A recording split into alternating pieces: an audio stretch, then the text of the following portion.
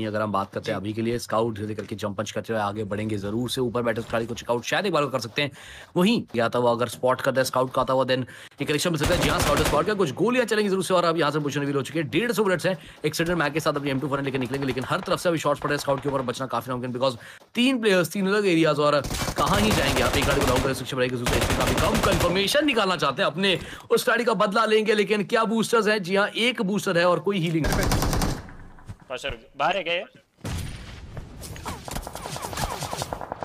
आजा बड़ी अरे ये शगन लोग है ना तुम लोग पीछे रहो पीछे रहो पीछे रहो बच्ची अपन ने अलग स्क्वाड के बंदे को नॉक को नॉक किया अरे अलग स्क्वाड पे बच्ची लग गए इधर तो बादशाह नहीं अबे तो पूरी ही स्क्वाड अलग है बे किधर घुस हाँ तो चूती है तो पता नहीं क्या बादशाह व्हाट द फक ये अलग स्क्वाड है। चल बच्चे वन फोर चल डाल दे पास। तेरे लेफ़्ट भी आगे गाड़ी। नेट खोल अरे रहा मादर